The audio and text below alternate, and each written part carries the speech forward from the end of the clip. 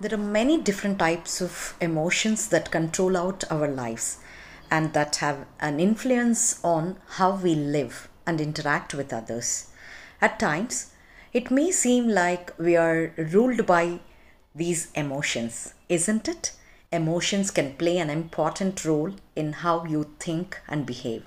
The emotions you feel each day can compel you to take an action and influence the decisions you make about your life. Emotions help others to understand you better. Emotions allow you to understand yourself.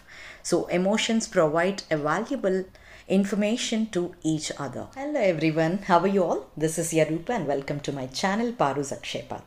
And today I'm going to discuss about the most important topic.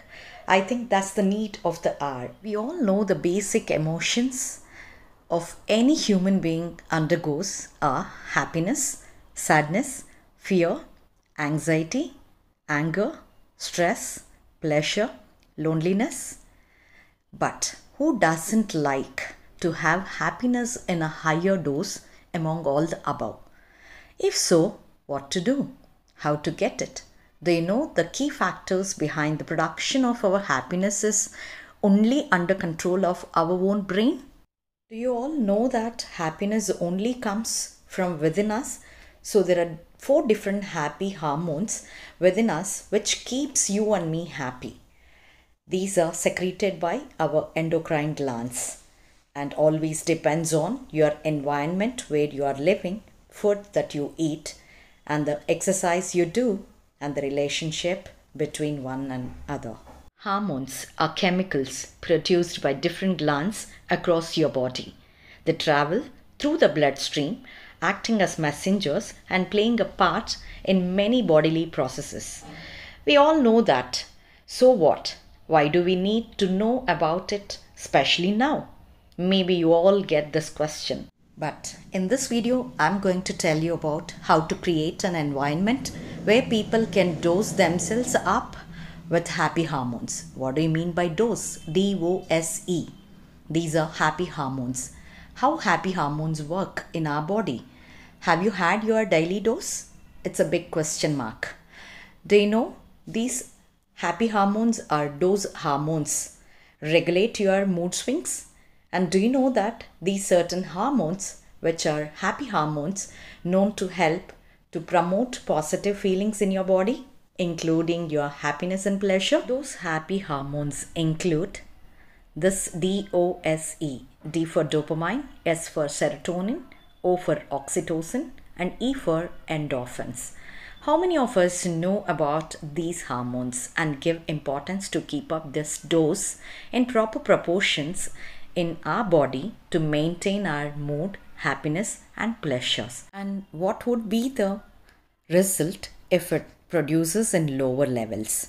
And how can we increase with small changes in our lifestyle? D is for dopamine and it's also for drive. Dopamine literally drives our brain's reward system, urging us to seek pleasure and motivating us to achieve goals.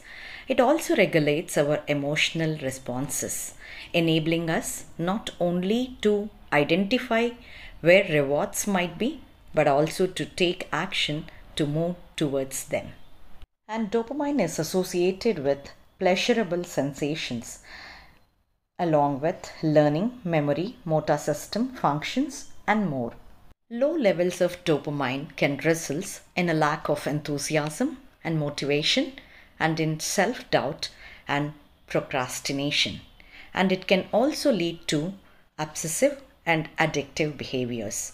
How can we increase dopamine production in our brain?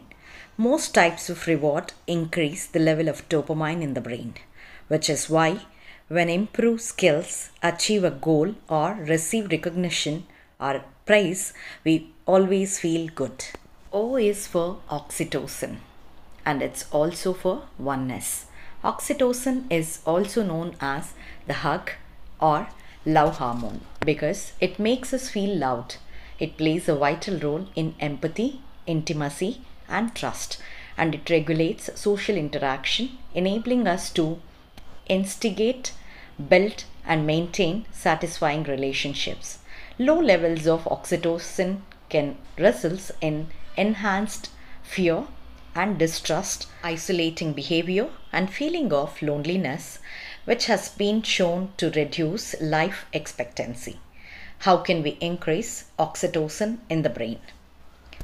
Most types of connection increase the level of oxytocin in brain, which is why when we hug a loved one or a pet or interact, spend time or collaborate with people we like, we love, we feel good and happy. S is for serotonin and it's also for stability.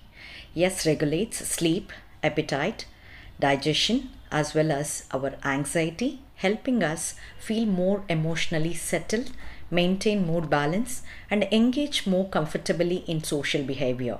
It also regulates memory and learning ability, enabling us to focus better and to both retain and recall information. If it lowers our low levels of serotonin, what would be the result? Can cause anxiety, irritability, insomnia, pain, panicness, depression, as well as difficulty in focusing and memory loss. How can we increase serotonin in the brain? A healthy mind and body increases the level of serotonin in the brain, which is why when we get enough rest and sleep, eat whole foods, drink adequate amounts of water, and look after ourselves, we feel good. E is endorphins, and it's also for ease. Endorphins regulates emotional responses by interacting with the opiate receptors, our natural painkillers in the brain, enabling us to cope more effectively with stress and anxiety. They also regulate physiological responses, enabling us to cope with physical and emotional pain. Lower levels of endorphins can manifest in lethargy, reduced tolerance to pain, anxiety, and a myriad of physical disorders. And how can we increase endorphins in the brain? Physical exercise, laughter, and foods like chocolates and chilies secrete endorphins, enhancing feelings of pleasure and increasing immunity, which is why when we do these things, we feel happy.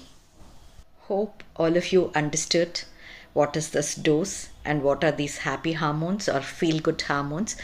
How can we boost levels of these hormones in our brain with some simple lifestyle changes, which possibly improves our mood in this process. Scientific evidences suggest that being happy may have major benefits for your health. It may also help combat stress, boost your immune system, protect your heart, and reduce pain. It may even increase your life expectancy. So be happy.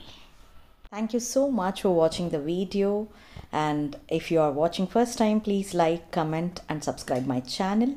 This is your Rupa and Paru Akshaya Pathra.